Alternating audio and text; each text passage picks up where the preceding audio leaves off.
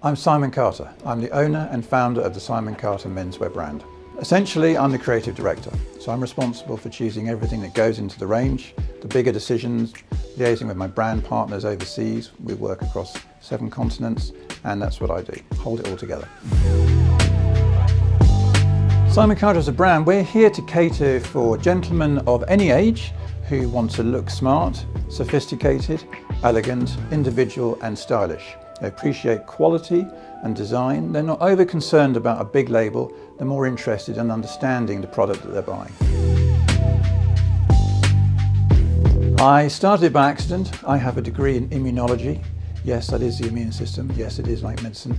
And this was a hobby that became out of control and grew into a business that sold from Australia through to everywhere else in the world.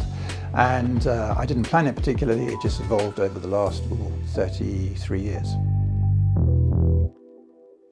EKM have been brilliant. They, I would describe them in a sentence as big enough to get everything done and small enough to really care. So if we ring them with a problem, someone comes straight back to us and helps us. And they've really got into the granular detail of what we need and executed it really well. I recommend EKM to anybody. Uh, they're, they're, always one step ahead of what we need, which is great. So we come to them and say we want this doing, and they'll say, yes, we can do that, but have you thought about this? And no question is too dumb. And we ask probably a lot of very dumb questions. They never make us feel that we're being silly or behind or stupid, so they're really super helpful.